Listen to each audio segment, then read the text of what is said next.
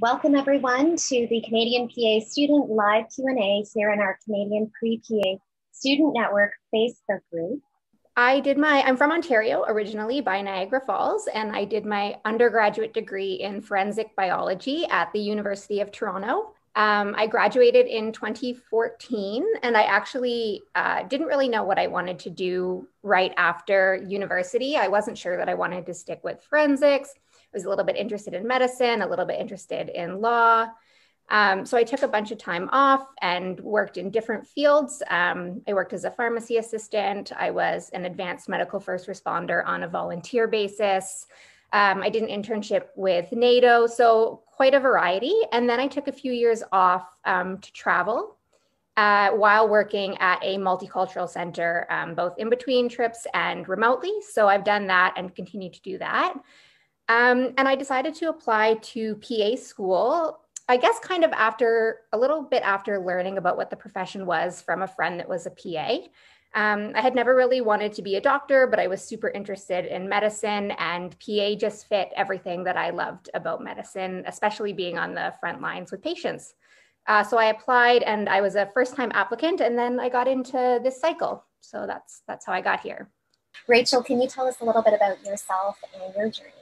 Yeah, definitely. So, uh, again, hi, everybody. Um, my name is Rachel. I grew up in uh, southern Manitoba. Um, I grew up about two hours south of Winnipeg uh, in a little small city.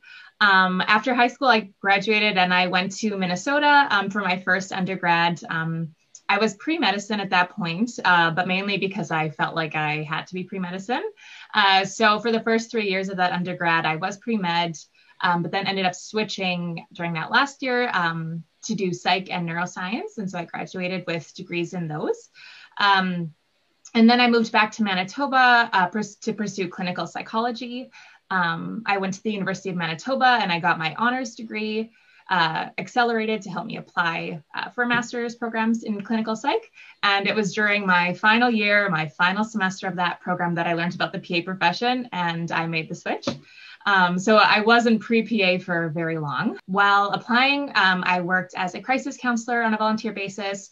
I've also worked in different social service fields. So I didn't have a lot of medical background coming into the program at all. So that's a little bit about me. So, part one will focus on questions from the pre PA journey with Kelsie and Rachel. So, our first question What is the difference between PA and MD, and why did you choose PA? Okay, so for that one, I will say that I mean, I'm only approaching it from a PA perspective, and I don't have a ton of knowledge on like the full scope of what it is to be an MD. But with that being said, I think of um, an MD as being, you know, you have your four years of med school and then your residency, and then you become very specialized. Um, and you work in one field, or, you know, if you specialize in more than one, but you kind of have one area of focus and then you practice in that field you kind of move to the top of that field and then you practice autonomously. Whereas as a physician assistant um, we graduate as generalists and then we don't have a residency at least here in canada. And then we're able to practice in any field and we practice uh, under the supervision of a um, physician and in collaboration with those physicians and we're able to switch specialties throughout our career. So I would say that the biggest difference is that we work with a physician as opposed to autonomously. And we are able to switch fields throughout our career as opposed to specializing. Those were the two biggest differences for me. And for why I chose PA, um, I, like I said, I had never really wanted to go into medicine. I liked everything that I liked about medicine to me was sort of what a resident does. So, very front line with patients, a lot of learning, a lot of working within a team environment. So, really relying on the other people that are in that environment. And for me, that just fit better with a career as a PA than it did as a career as a doc. I liked being able to move around, I liked the work life balance, but really it's that like frontline with patients throughout the entire career. That was kind of what sold it for me. And Rachel, uh, can you tell us uh, why you chose? Yeah, so I mean, I was considering medicine again the first few years, my first undergrad, but realized just the the MD route wasn't what I ended up wanting. So I had kind of figured that was the only option if I wanted to pursue a career in medicine until learning about the PA profession. And what really appealed to me about it and why I switched from the clinical psych route was it's a perfect combination of, you know, being able to practice medicine a shorter amount of time for school, The flexibility is incredible that you can work in so many different specialties and switch without, you know, extra with on the job training. And then also just the aspect of being a generalist really appealed to me as well. So those are a few of the main pieces for me. How did you choose your undergrad degree? And any advice if someone's in grade 11 or 12, how they should approach this important decision? I started off as a biology major during my first undergrad, and I I actually wish I would have gone in undecided and made the decision a little bit later. I think there's a lot of pressure to, to feel like you need to go in with your your undergrad degree uh, in or which major you want in mind. But i think it's okay if you go in without knowing and there is some time to decide as you take you know your first year of courses and start to explore different things in terms of you know if you're wondering what is what would be the best for pa school for the u of m program it can be bachelor of arts it can be bachelor of science it just needs to be a four year undergrad degree. So when i was choosing mine i i really chose it based on what i found to be interesting but also something that would really keep my options open after graduating. Yeah i would say probably the exact same thing as rachel. Like when i finished high school, I it was the same thing where I was like, do I like science? Do I like the legal aspect of things? So I went into forensic biology. But looking back now, I mean, your undergraduate degree, unless you're going into something really specific, like maybe business or nursing, your undergraduate degree doesn't matter that much. It's more of a kind of a stepping stone to, shouldn't say it doesn't matter. It doesn't matter exactly what you pick that much because it's sort of a stepping stone into whatever you do next barring those few sort of professions. Going back, I would say pick something that you're interested in, something that you know you can do well in, and something that, like Rachel said, keeps your options open so that you are able to get those prereqs once you have a better idea of exactly where you want to go. But don't stress over knowing in grade 11 or 12, like exactly what you want to do, because I've been out of high school for 14 years or something and just picked. So, yeah, that would be my advice. And does it matter where you do your undergrad degree when it comes to applying to PA programs? Do they distinguish or prefer certain undergrads compared to others? My undergrad at U of M was only three years. So my American undergraduate degree was one that applied to my uh, PA school application.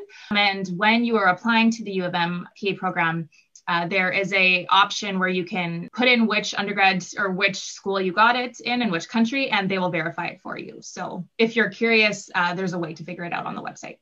And from what I understand, it, it doesn't matter as long as you uh, meet the qualifications, uh, whether you do it in something science related or un- non science related, you still qualify to apply. So that wouldn't exclude you uh, because you did something a little bit non traditional, from what I understand you are done your undergrad, you're now in PA school. If you were to look back, what advice would you give your younger self, specifically your first year university self?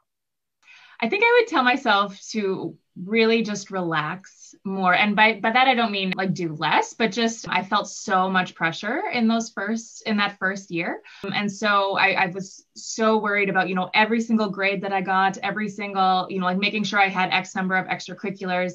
And just now I can look back and realize that a lot of those things don't they matter absolutely, but the amount of pressure I was putting on myself wasn't necessary. And so if you're trying your best, if you are making connections, if you are you know going after opportunities that come up to you that's all you need to be doing and that's what you should be doing. But the extra added pressure just isn't necessary. So try to enjoy it because it just yeah it's way more more fun that way yeah, I was going to say the exact same thing, like relax. But I would also say that like kind of kind of going off of that like it is okay to change your mind. And if i had known that in first year i would have felt a lot better. And the other thing i would say is like take advantage of the resources that your university offers you to help you learn the best way to study. Because going from high school to undergrad can be a vast change especially if you were somebody in who high in high school who was like didn't have to study that much. Like you are going to have to study a lot in university and it's in a different way. So if your school offers ways to help you figure out the best way to study, take advantage of that because no matter what graduate program you go into, your GPA does matter. So I would say, yeah, just use the resources that are available to you to help you do really well. When and how did you decide to become a physician?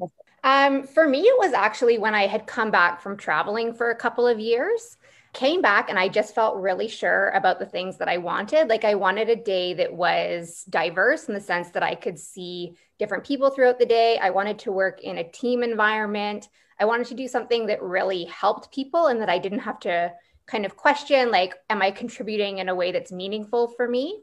So, actually, having taken time off and worked in different fields was the biggest thing that made me realize everything I don't want and everything I do want. And I decided to apply to PA like no more than maybe six months before the application started because I had kind of figured out what I wanted, looked into the application process, and was like, oh my goodness, this is for me. So that was my process. I was in my final, yeah, my final semester of my uh, second undergrad, working on applications for clinical psychology programs. I was in a class. I remember the moment so clearly. I was in this class in my honors seminar that was supposed to be about what we can do with our psych honors degrees, and I tuned it out because I was like, I know I'm doing clinical psych. So I, I was tuned out, uh, but on this list of slides was the physician assistant profession, and I my ears perked up. I literally Googled it right there went to your website and uh, and I read. That was the first time I was really exposed to it, and like that moment, I was like, this is like this is it. And so from there, I was doing my research. I did some shadowing, and just like was reaffirmed over and over that wow, yeah, this is exactly what I wanted. So um, it was kind of that really specific moment for me. How would you describe your class? We are all very much not the same in a very good way. Uh, we're a very diverse class. We all have very different backgrounds. Some have science backgrounds, uh, some have more non science backgrounds, some have families, some don't, uh, some have worked for years, some are right out of their undergrad. So, very, very diverse. And it's really, really fantastic because we each bring something different to the team and we really do work together as a team. So, yeah, it's really, really great that we're definitely not all the same. what are some examples of non-science backgrounds that your classmates have come from, if you can remember off the top of your head? For the most part, people do have science, but we have a lot of different sciences. Um, and then we do have uh, one of our classmates was a psychologist before starting and was in more of like a school psychology route. So for her, she's mentioned a couple times that her only real science background was the three prereqs that she had to take for this course. And then it's just like a, a big sort of diversity in types of science backgrounds. Other than that, I, I think, I'm not sure if we have anybody that's something like totally different in our class, but I know there has been in previous classes. Okay, so now we're going into part two, which is questions about Manitoba's PA program. Why did you choose the U of M Manitoba PA program? So I applied to all three programs, and U of M was definitely kind of at the top of my list for a few reasons. So it was a move out of province for me, which was the one thing that was like kind of challenging. But I really liked that U of M does their didactic year. Like we're together all day, even virtually this year. And it was important to me to kind of have that sense of community with my classmates. Uh, and then the other big draw for me was the length of some of our clinical experiences next year. So I think we get a little bit longer in like emerge and surge and internal medicine and family medicine. And those were all areas of interest for me. And then i believe we also get a community medicine. So all areas that i was really interested in and it was a big pull for me to get that extra time in fields that i might want to work in. So that was what it was for me yeah, so this was actually the only program that I did apply to. So one piece was, I mean, I'm from Manitoba. So It was really uh, enticing to stay close to home. But another big piece was the master's program aspect of it. Just having had two undergrads, I was looking to get a master's program uh, degree. So that was one piece. And then also there's a research project that is part of the program that also really enticed me. I have a bit of a research background, and so I appreciated that aspect. And then just after reading the mission statement on the MPAS website, really resonated with me, and I really connected with a lot of what the program's goals were. So that also really helped form my decision to apply here.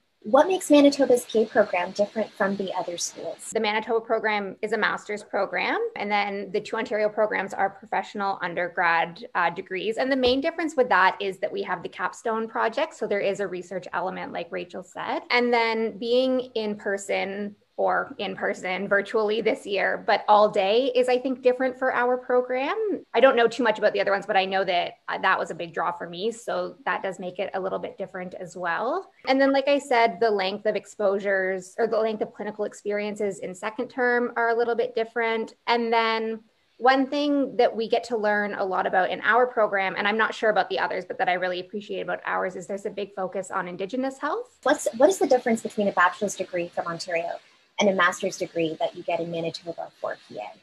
In terms of like getting a job afterwards, I, I don't think there really as far as I'm aware, there isn't really a big difference between whether you have a bachelor's or a master's. I think the big difference between the two is what Kelsie already mentioned, you know, the the research aspect, the research project for Manitoba. But otherwise, you know, I, I really don't think there's that much of a difference like in terms of getting a job it's it's going to be the same. It's just having i guess a research project a potential to publish under your belt that comes along with the masters but that would be it. So from what i'm hearing it sounds like from an employment perspective regardless of whether you get a bachelor's degree or a master's degree for pa you can still apply to the same jobs.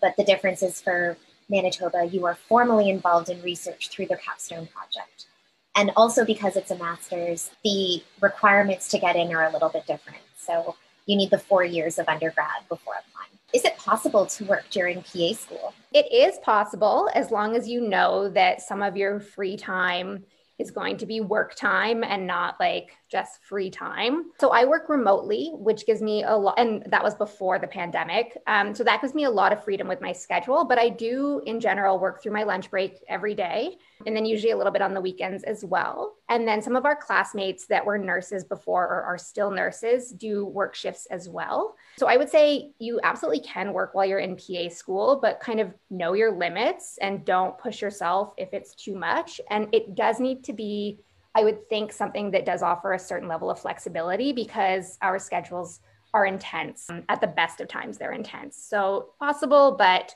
but definitely takes finessing of the schedule. What is first year PA school like at Manitoba's uh, master's program? it has been probably the most intense thing I've done, but it has also been one of the most enjoyable and rewarding things so far. The workload is very heavy. Um, I know starting off uh, the first semester, I was like, okay, I got this. I can do this. This is okay. It's a lot, but I can manage it. But then second term hits and it's just like, it's heavy. Uh, it's a lot. Uh, but but it's doable. And I think that's like, that needs to be said always at the end of those sentences. It's still doable. So are you studying a lot and exhausted like the majority of the time? Yes, but it's, it's doable. And it's something that there's so many supports within the program, including your classmates. The faculty are fantastic and always make themselves available. It's intense and it's a lot, but it's also a lot of fun. Like I've had incredibly enjoyable experiences in PA school so far yes, it's intense. It's absolutely doable. It's nice that in first term, you kind of learn how you're going to study and how you're going to take breaks before second term kicks off. Um, and then from what we've heard, like third term is not quite as intense as second term. So if you can just get through second term, you'll be all right. But it's flying by. So, you know, all things considered, it's flying by. Um, and what happens in second year of PA school? Second year for us is all clinical, with the exception of, I think, once a month academic days where we come in and continue to learn new skills. So we rotate in several different uh, places. So I know there's emerge, surgery, internal med, community med, family med, psychiatric med, pediatrics, I think OBGYN. I'm sure I'm missing a few, but we get to rotate all over and we're able to be here in Winnipeg or go up north or to other places as well. So for me, that's what I'm excited about is just being on clinic every day. As of right now, we're shadowing for one half day every week. And that's like my favorite part of the week. So I'm just so excited to actually be there in clinic. Any scholarships or funding that is available for students that attend Manitoba's PA program? There are. I found this uh, part to be a little bit challenging is you have to, I mean, there's a lot of bursaries and things available. The uh, Faculty of Graduate Studies at the University of Manitoba sends out a lot of emails and information regarding that. So it takes a little bit of time to kind of sift through all of the uh, bursaries and, and funding opportunities that are available to see if you're eligible. But there definitely are ones. I've applied to three and I've gotten three uh, scholarships this year. So there's definitely funding opportunities available if you take the time to, to find them and to apply. How do you pick a topic for your capstone project? Would you be able to give us some details about how that works? Your capstone project is like completely open. You can decide to research whatever you want, being mindful of the fact that this isn't a master's, a research master's, and it's not a thesis project. So you need to be very mindful of how much time you're actually going to be able to give to it, especially if you're doing something that involves like research, uh, ethics approval, or like chart reviews, anything. So a lot of students pick things that are relevant to the actual practice of PAs and try and build on that body of research. But you can also pick like anything that's of interest to you. So for me, like I've decided to research into LGBTQIA issues in healthcare. Um, so yeah, it's completely open, but you just need to be mindful of like getting research approval and your time in second year and first year. How would you say you balance school and personal life? Like, what does a typical day or schedule look? This is a great question. And it's something I'm still, even this far in, figuring out completely. I, I balance it by first communicating with those around me, just making sure that they know the stress that I'm under and what's expected of me in PA school so that they're understanding. So it's a lot of communication with that. Uh, but then I do also block off an hour every day of no school time, guilt free, like don't look at a book, don't look at anything PA related for an hour, whether it's broken up or together. So that's really helpful just to keep my productivity going, I find, to have that little reset. But also just prioritizing like things like getting in exercise, getting in fresh air, leaving the house now that we're inside all the time. So leaving the house, whether it's just to go for a walk or something, but it's just the little things like that. Making sure that you're prioritizing them has been huge, um, especially in this second term with it being so busy. What do you believe makes a strong candidate for Manitoba's PA program? One thing that makes a strong candidate is really being aware of the world around you and aware of the different, I'll use the term social determinants of health and how those things in different aspects in life influence one's experience in healthcare. So, really being able to understand that everyone in healthcare may have a different experience and being aware of that. Wanting to advocate for patients, I think, is a huge thing that makes uh, you a strong candidate. Being able to communicate effectively is huge. Being able to listen really well is huge. Being able to work well in a team, being able to collaborate. I mean, now I can go on forever, but I think those would be huge. Uh, the listening piece, the communication piece, those are huge. Like, it's so important, I think, in our program to really discuss what it is that you plan to do for your patients as a PA as opposed to what the PA profession is going to do for you. I think that advocacy for patients and like Rachel said being aware of the social determinants of health is such an important part of healthcare in general and Manitoba's program really cares about that. So I think being really aware like Rachel said of what's going on uh, is super important to be a strong candidate here and then yeah just being able to work in a team for sure because uh, we are together all day every day so it's important as well so it sounds like a lot of the attributes that you discuss are um, having to do specifically with uh, PA, so communication, collaboration, leadership, being able to hone in on those skills and demonstrating that on admissions, uh, but also being familiar with the issues um, and healthcare, um, I guess the healthcare that's going on in Manitoba as well uh, since you are applying to a Manitoba program. So now we're going to start on part three, which is questions relating to applying to Manitoba's PA program. Our first question is what are the prerequisites to get into Manitoba's PA program? So I, I was just looking at the website actually today um, to look at what the requirements were, and uh, I did notice there uh, just the the wording on the website had changed a little bit in terms of what's expected in the uh, personal statement. The questions that they wanted you to respond to were different than the ones from my year. So definitely take a look at the website the year that you're wanting to apply. So you do have to have the four year bachelor's degree. Um, so everybody applying into the Manitoba program has already completed their undergraduate degree. And I know there's a lot of questions about does a three year degree count? I've seen those pop up, but as you can see on the website, it, you do require the four year degree. Minimum GPA of 3.0 in the most recent 60 credit hours. So I think that that equates to about the last two years of schooling. Uh, and I will just say that I took a bunch of courses afterwards, and it is your most recent hours that count. So, having taken recent courses knocked out some of my last two years of courses. It is those most recent 60 credit hours and then one semester course each of anatomy, physiology, and biochemistry. You can take those at any university. It doesn't have to be the university that you did your undergraduate degree in. I took them at a different university. But yeah, like Rachel said, and like Anne said, always check the website. And if you're unsure, you can email the program. They will get back to you um, because that's your best source of information. So, does Manitoba's PA program look at the cumulative GPA or the last 60 credit hours? Um, as per the website, uh, it is the last 60 credit hours. Who did you use for your letter of reference? And any tips? So it is three letters of reference, or at least it was when we applied. So I used my current employer, which I think might be a requirement, or at least it was that you used your current uh, employer. And I used a coworker that I had worked with on a large project um, over the course of many, many months. So we had worked closely together. And then I actually seeked out somebody that used to be my supervisor when I was a medical first responder to provide the last one. So, my strategy with that, and this is just my strategy, but I wanted somebody who had seen me in a medical role and seen me interact with patients and also had seen me train for a medical role. And then I wanted the person that I had worked with on the large project because I knew that she could speak honestly to how I work as a member of a team, especially because, like, working on a large project, we had had disagreements on what to do and we had worked through them. So I felt that she really reflected how I would be as a PA in a real world environment. So that's how I chose. And then uh, my boss was the same thing. Like that was a requirement. Um, and I knew that she had seen me work on several projects. So that's how I chose her as well. So I would just say, yeah, pick someone that can honestly speak to your work ethic and someone that you don't necessarily know. They're just going to list off a bunch of, you know, sort of qualities that they think they want to hear, like someone that can actually speak to who you are as a person this actually brings up that was another difference. I noticed on the website it's only two recommend recommendation letters, uh, but when I applied, yeah, it was also three. So I approached this by uh, I did my academic advisor, but also someone I did research with for three years during my first undergrad. So I, she was also my professor for a number of classes. So I'd gotten to know her really well. She had gotten to know me really well in terms of my work ethic, just my personality. So I really appreciated that, that she could give that perspective. Then I also used my counseling supervisor. So the person that was the supervisor of on my shifts when I was doing counseling, she had seen me do a lot of counseling sessions. And so she could really speak to my ability to communicate. And she also worked in the medical field herself. So she also had that kind of background. And so she could help, you know, speak to that as well.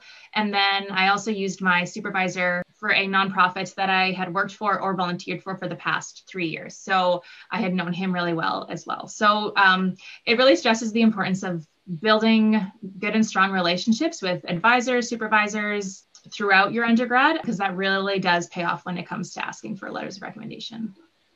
So, what I'm hearing is that um, you didn't have three references from the same category of experience. So, there was one for academic potentially, one that verified an extracurricular uh, or a job, and one that had verified patient care experience or where you had worked with patients or clients one on one that could speak about that. And they all knew you fairly well and it wasn't just a verification of your activities. So that's so does Manitoba's PA program accept out of province applicants? So if you're from BC, Alberta, Ontario, Nova Scotia, etc., can you apply to Manitoba's PA program? And do they accept out of province candidates?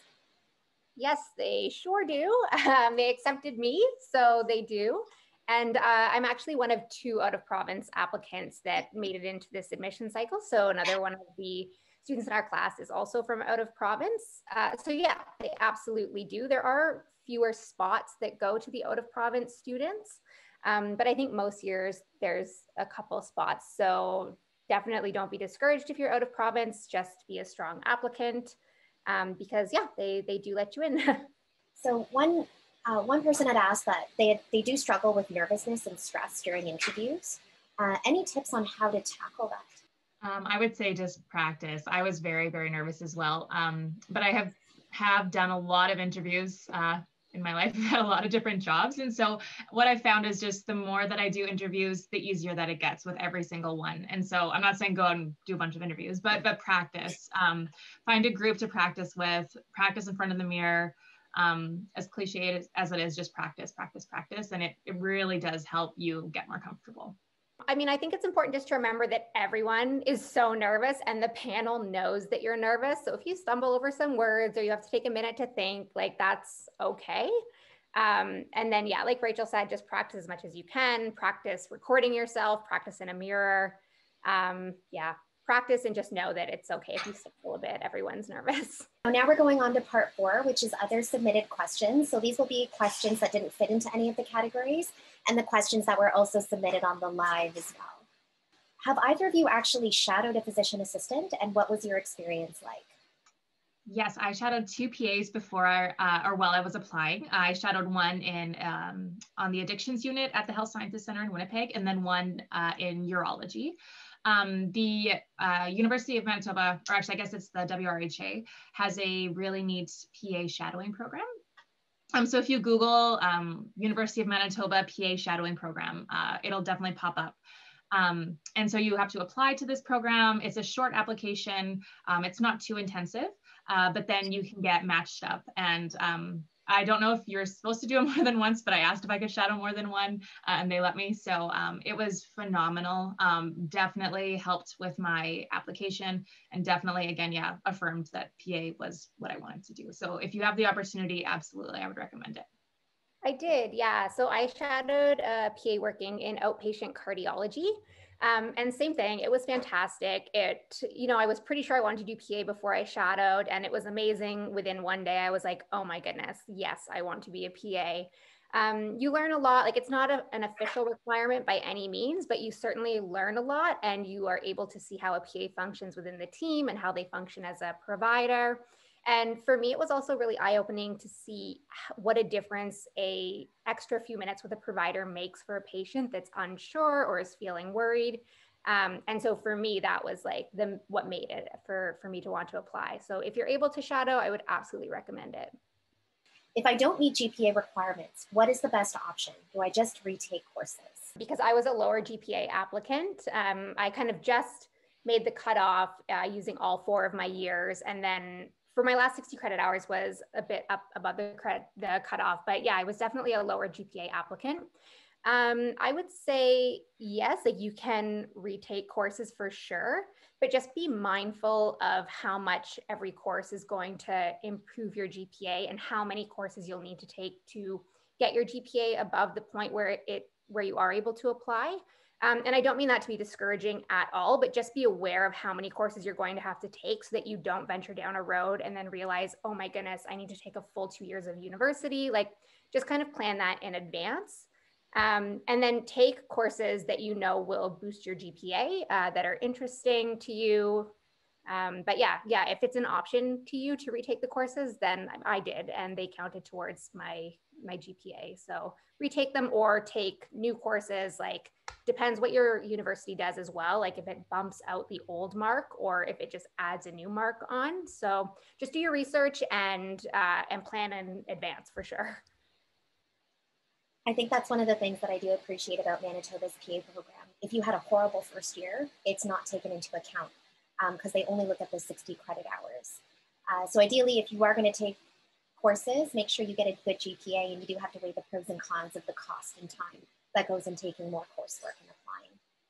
Uh, so, question Does my background as a psychologist turn PA programs off as a potential candidate?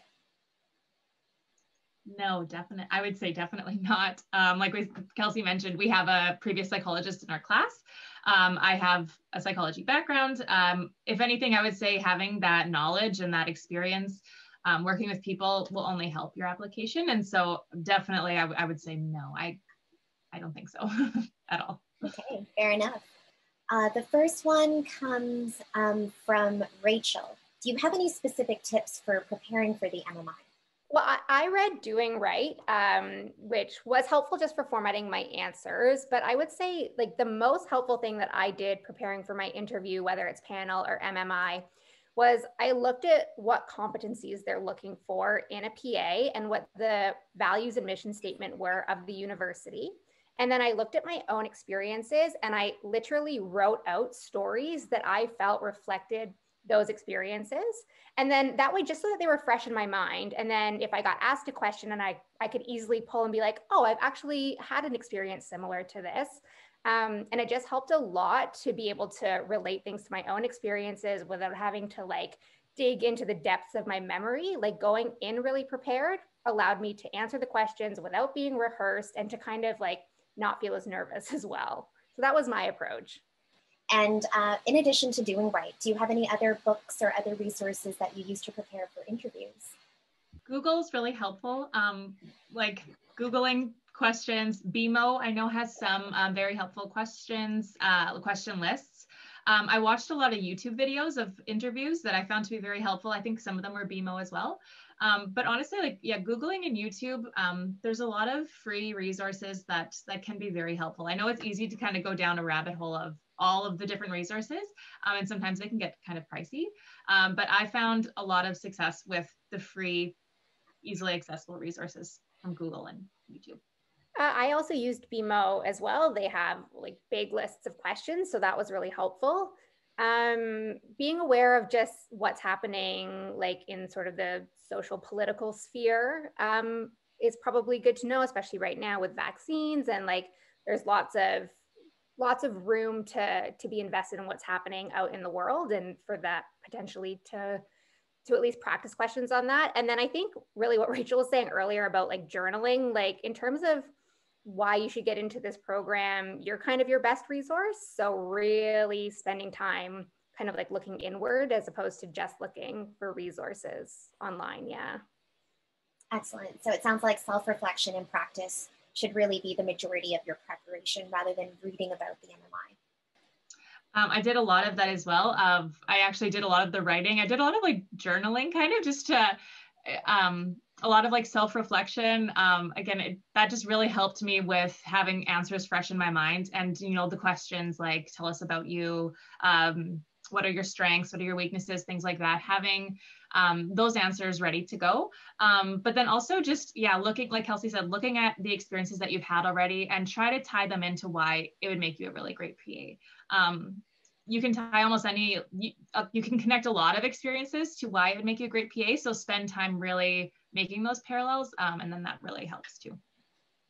And was there any sort of preparation for the panel interview the questions that I focused on the most for the panel interview were questions um, that I found on Google, things like tell the questions that a lot of websites had stressed, like the, the interpersonal questions.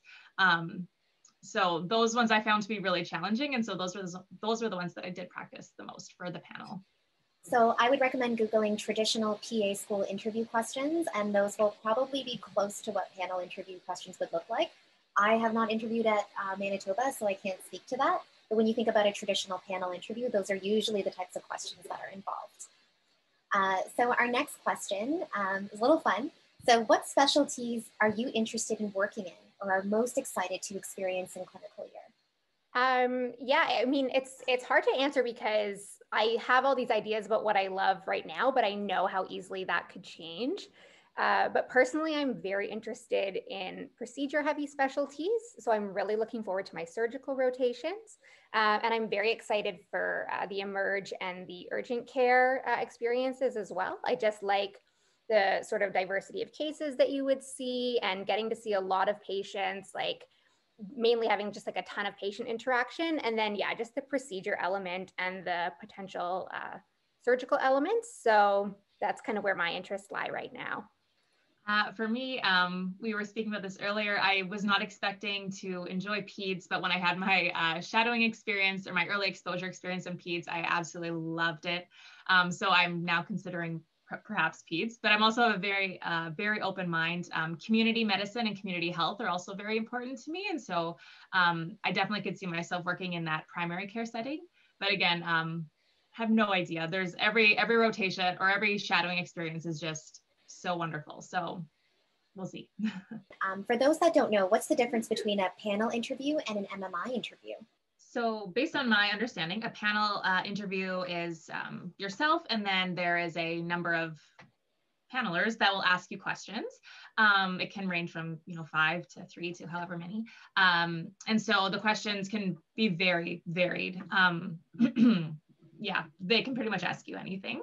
Uh, and then in MMI um, are very scenario based questions that can be um, based on, you know, medical ethics and things like that. So that would be more so where you're uh, given a scenario, you read the scenario, and then you have a certain time limit to respond or uh, to to that given scenario. Um, so that's kind of it in a nutshell, the difference between them. Um, Kelsie, I don't know if you have anything to add. No, not really. Uh, the only thing I would stress is that you don't need to have like medical knowledge to answer the MMI questions. They are based on things that like the average person would be able to answer. You you're not going to be asked actual medical questions, so don't waste your time like trying to learn medicine before the MMI. Uh, would you would undergrad research be considered beneficial for the application process? For me, um, my undergrad research was extremely helpful, but um, not necessarily from what I was researching.